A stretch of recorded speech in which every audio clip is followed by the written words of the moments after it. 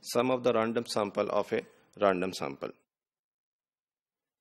When the sample is drawn,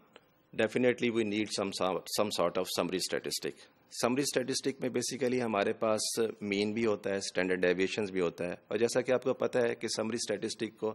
क्योंकि ये sample quantity है और ये हम सैंपल से कैलकुलेट करते हैं तो जनरली हम इसको in term of function represent करते हैं। That is T of X one X two up to X N और ये जो हमारे पास फ़ंक्शन होता है इसकी डोमेन्स जो होती है वो हमारे पास जो रैंडम वेरिएबल की स्पेस होती है वही हमारे पास इसकी डोमेन होती है।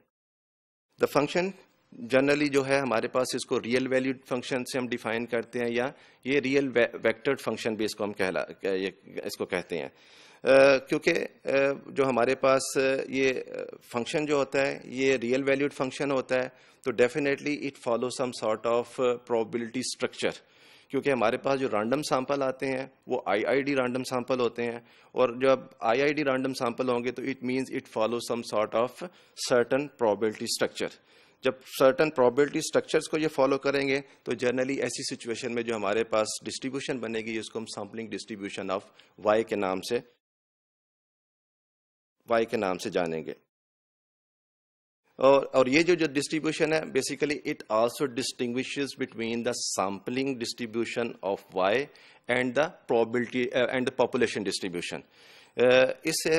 जनरली होता क्या है कि पॉपुलेशन की जो डिस्ट्रीब्यूशन है, उसको हम स्टडी करना हमारे लिए बड़ा मुश्किल होता है। तो हम सैंपल से उसकी डिस्ट्रीब्यूशंस बनाते हैं और उसको उससे स्टडी करते हैं।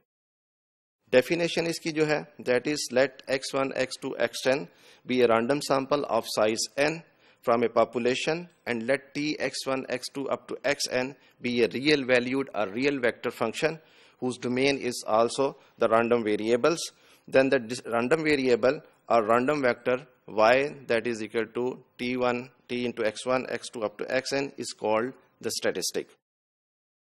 This probability distribution of statistic y is called the sampling distribution of y